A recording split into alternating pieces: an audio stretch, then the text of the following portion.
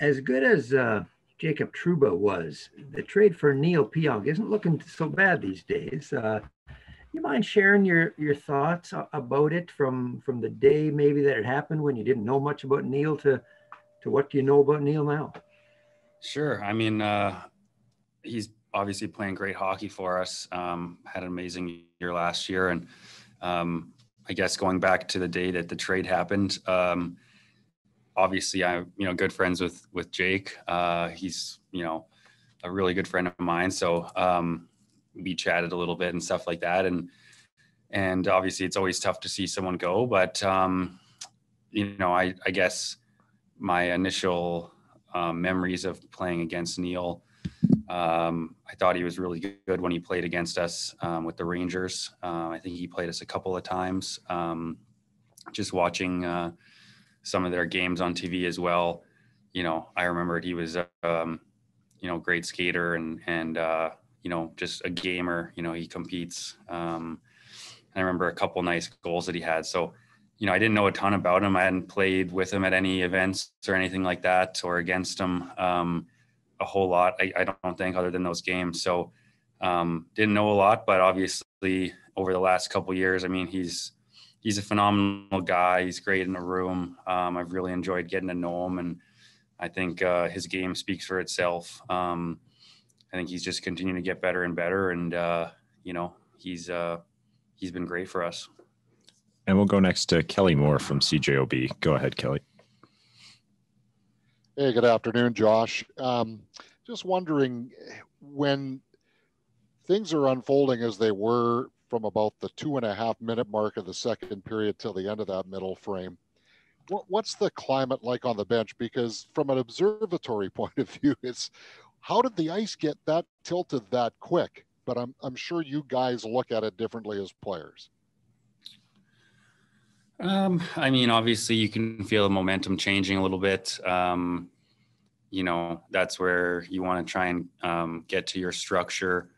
Um, you know, get some uh, some plays ended in your own end, and and uh, to use the same analogy, get the ice tilted the other way a little bit. Um, but there's going to always be momentum changes in games. Um, you know, you don't necessarily want it to be as as drastic as that was, but uh, you have to weather that. Um, I think maybe how we could do a bit, bit of a better job is, uh, you know, the tendency when the other team's uh, feeling it and has momentum is to sit back and sort of, uh, you know, be extra cautious and, and give up uh, half a zone.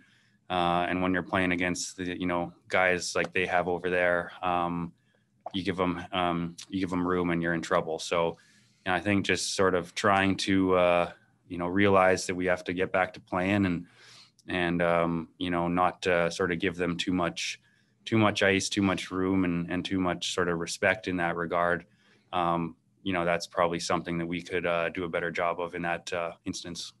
And we'll go next to ken Wiebe from sportsnet. Go ahead weber. Thanks gregor. Afternoon josh. Uh, just what are you seeing from the defense corps in general and from your pairing with tucker Poolman in particular now that he's had a couple games back in under his belt you guys have been used together a little bit more? Hey, Ken. Yeah, I mean, I think um, obviously, uh, first of all, as a decor, I think um, you know we're we're we're working hard to uh, um, end plays early in our own end. I think we're um, there's always room for improvement, but we're getting better at that. Um, we're sort of having a little bit of uh, consistency, and obviously, uh, Forbort and and Pionk uh, uh, have played together um, for the entire year. So they have uh, a good chemistry going. I think we're starting to get some chemistry um, as an entire back end. And uh, uh, so I like the direction we're moving. Um, I also think playing with Tucks, I mean, you know, when you miss time, it's really tough. And uh, when you miss time at the start of the year, sort of after one game, um, it's even harder. So I thought he's been great since he's come back. And um, obviously we played together last year. So uh, there's a familiarity there for both of us. But um, you know, I think he's doing great. I think uh, as a pairing, we're um, you know, it takes time to to just feel the the game together as a pairing. But you know, I think we're um, we're getting better each night, and uh, I think he's playing great. We'll go next to uh, Sean Reynolds from Sportsnet. Go ahead, Sean. Hey, Josh, you probably wouldn't remember either of these conversations, but when you were fresh out of um, Team Canada Juniors camp, I'd asked you about Connor McDavid and if he was, you know, headed for greatness, you know, and you had said, "Oh, absolutely," and uh, you'd said something similar about Leon Draisaitl. So nonetheless, I, I, I, trust your talent evaluation. You probably have a future in it if you want it down the road. Um, but Connor McDavid, if he gets a point in this next game, he becomes the he ties Sidney Crosby as the eighth fastest player to 500 points. Um, I know you can only give the perspective of the time that you're in, but can you give us an idea of what you think we're seeing here in in the player that is Connor McDavid? Well, I'd say first of all, in my talent evaluation, those are probably two uh, uh, you know, pretty can't miss uh, prospects. you know, both of those guys are uh, were amazing at the time, and and obviously they've gone on. So um, can't take too much credit there, but uh, I mean, just just phenomenal player. Um, you know, he's a phenomenal person as well. You know, I really enjoyed getting a chance to know him um, through a couple World Juniors and an under 18. Um, you know, just for somebody who is under the public eye like he is, um, you know, to to basically just be a you know a down to earth, uh, you know, normal hockey player. I mean, it's it's he's just a great guy. So it's I think that's one of the things that impressed me right away when I met him, and uh, you know, uh, his ability speaks for itself. Obviously, the numbers he's produced in the league. Um, already at such a young age. I mean, it's pretty remarkable, that's for sure. And uh, you know, when you start to see some of these sort of milestones and um, achievements um, at the age that he's at, it's uh, it's pretty remarkable. Obviously, um, makes it pretty darn difficult to play against, but uh, you know, it's it's very impressive, and I'm sure um, you know he's destined for uh, you know many more of those uh, special achievements and um, and uh, statistics throughout his career. And just a couple more for Josh. We'll go next to uh, Paul Edmonds from Jets Radio. Go ahead, Paulie.